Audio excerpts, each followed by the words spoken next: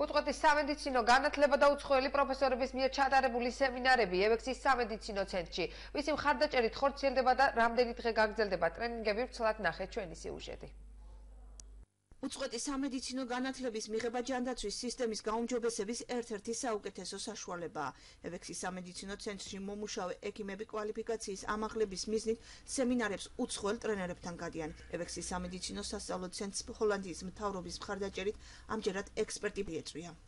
ჰოლანდიელი ექსპერტი, რომელიც ჩამოვიდა ჩვენთან ჰოლანდიის მთავრობის მხარდაჭერის რობაიკერი, რომელიც არის საერთაშორისო ექსპერტი, რომელიც მუშაობს ორგანიზაციურ განვითარებაზე და განსაკუთრებით აქვს ძალიან დიდი გამოცდილება სასწავლო ცენტრების განვითარებაში.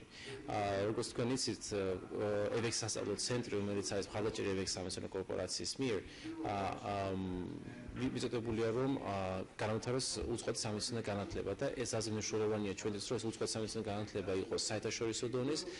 საქართველოს ჰოლანდიის მთავრობის მხარდაჭერი ჩამოვედი. ვფიქრობ, ჩემი ვიზიტი ნაყოფიერი იქნება. სამედიცინო სფეროს წარმომადგენლებთან უნდა ვისაუბრო მენეჯმენტის საკითხებზე და იმ სიახლეებზე, რაც ამ სფეროშია.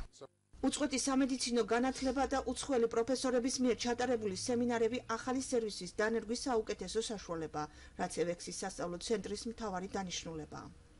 ეს ვიზიტი ნიშნავს, რომ ზუსტად ამ კვალიფიკაციის ამაღლებისა განათლების მიმართულებით დაინერგება ახალი პროგრამები, უახლესი მიმართულებით, თანამედროვე სტანდარტები, რაც უშუალოდ აისახება სამედიცინო სერვისების გაუმჯობესებაზე.